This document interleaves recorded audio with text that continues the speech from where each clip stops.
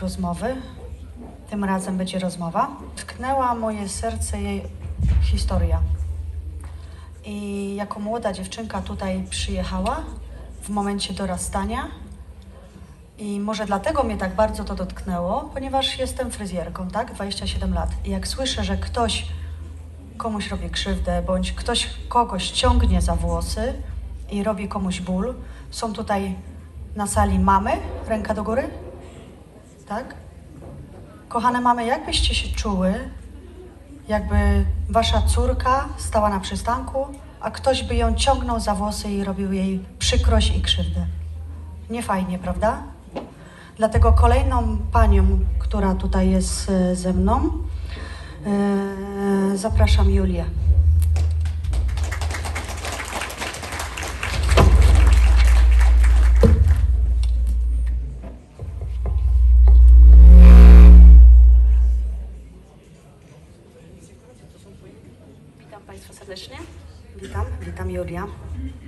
Julia bardzo w młodym wieku napisała książkę. Napisała książkę w języku niderlandzkim i brawa dla niej. Dziękuję. Julia, tak chwilkę o sobie. Co robisz w Holandii? Co studiujesz?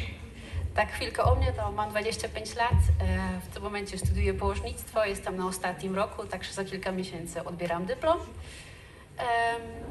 Przed tymi studiami studiowałam doktorz asystenta, to zawód, którego akurat w Polsce nie ma, także byłam powiedzmy prawą ręką e, lekarza i potem zdecydowałam się na inne studia. E, To tak w skrócie, Okej. Jak długo jesteś w Holandii? 10 lat. Napisałaś książkę. Tak. O czym jest książka? O czym jest książka? No tak em, bardzo, bardzo w skrócie Państwu o tym opowiem. Em, Jest to o dziewczynie, która przeprowadziła się w wieku 14 lat do Holandii i w tej książce jest napisanych kilka różnych e, historii z jej życia i każda z tych historii jest napisana z innej perspektywy, na przykład z perspektywy jej mamy, z perspektywy jej koleżanki, e, z perspektywy jej chłopaka.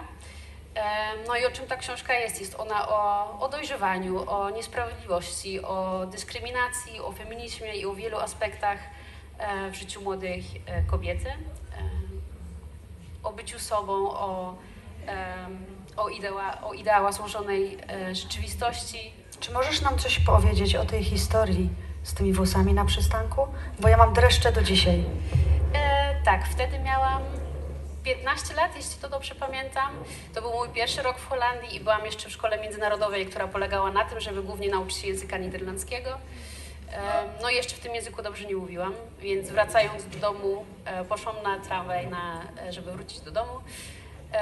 I byłam z koleżanką Polką i rozmawiałyśmy sobie po cichu, po polsku, tak żeby nikt sobie nas nie słyszał, ale jednak ktoś nas usłyszał i była grupka osób, która to wychwytała, co w tym momencie do nas mówili, no nie mam pojęcia, bo już nie pamiętam i wtedy języka też nie rozumiałam.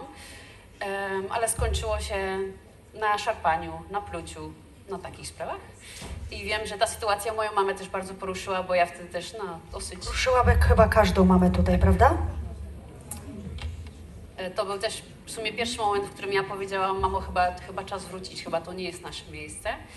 Em, ale cóż, no nie, niestety nie mamy wpływu na takie rzeczy, nikt się nie prosi o takie przykrości. Julia, co było dla Ciebie najtrudniejszym tematem na emigracji podczas dojrzewania?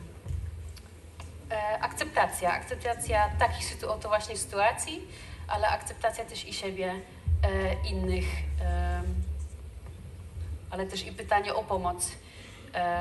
No i odnalezienie siebie tak naprawdę w takich sytuacjach, bo mając 14 lat jeszcze w wieku dojrzewania i tak naprawdę jeszcze nie masz pojęcia, kim, kim ja jestem, kim są inni, co ja znaczę dla kogoś innego, dla, dla społeczeństwa. Myślę, że to były najtrudniejsze tematy. Wydaje mi się również, że tak dla młodych osób, które przyjeżdżają do Holandii z mamą, tatą i, i, i spotykają się, zostawili swoich przyjaciół, koleżanki, szkołę, Tak. podwórko swoje, wyjeżdżają do obcego kraju, język, cały nowy świat. Trzeba tak naprawdę uczyć się od nowa chodzić. Tak, tak? jak dziecko. Jaka jest najważniejsza lekcja, której się nauczyłaś na emigracji wieku dojrzewania? No właśnie taka, że samemu nie mamy wpływu na takie sytuacje, bo my je nie wybieramy, one się po prostu przytrafiają, e, ale mamy wpływ na to, jak się z tym obchodzimy. Czyli w tym momencie ja i moja mama miałyśmy opcję, żeby się tak jakby... Jak no, sobie poradziłyście razem? Nie poddałyśmy się. poszliśmy Brawo. dalej. Brawo. Myślę, że to jest najważniejsze. I mm, była, byłyśmy też razem, czyli ja nie byłam w tym sama. I myślę, że to też dla nas jest ważne. Mi kiedyś zostało powiedziane, że jeśli chcesz pójść szybciej, to musisz iść sama, jeśli chcesz pójść dalej, to musisz iść razem. Pięknie.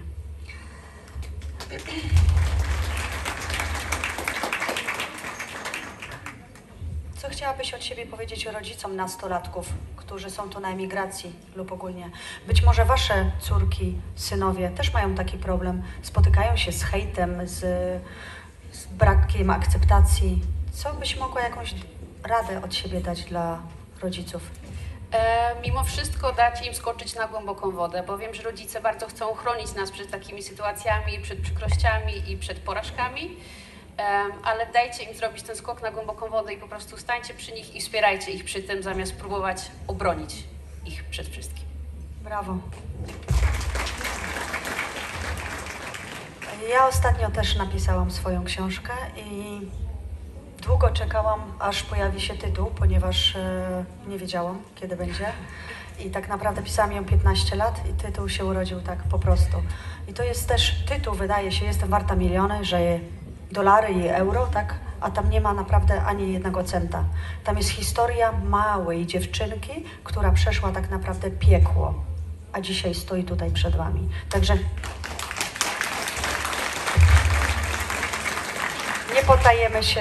Zobaczcie na Julię. Możemy przykład brać po prostu od sąsiada. Chciałabym tylko jeszcze tak od siebie powiedzieć, ze swojego doświadczenia, żebyście też spojrzeli, co się dzieje w domu obok.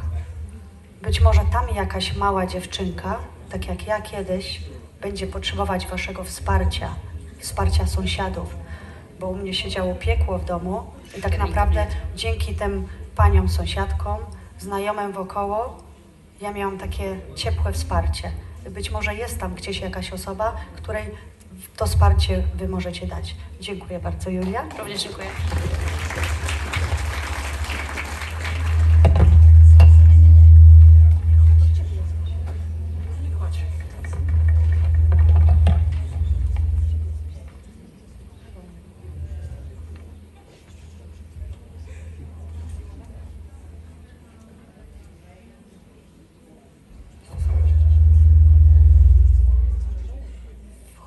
Na salę, zobaczyłyście taki piękny obraz tutaj.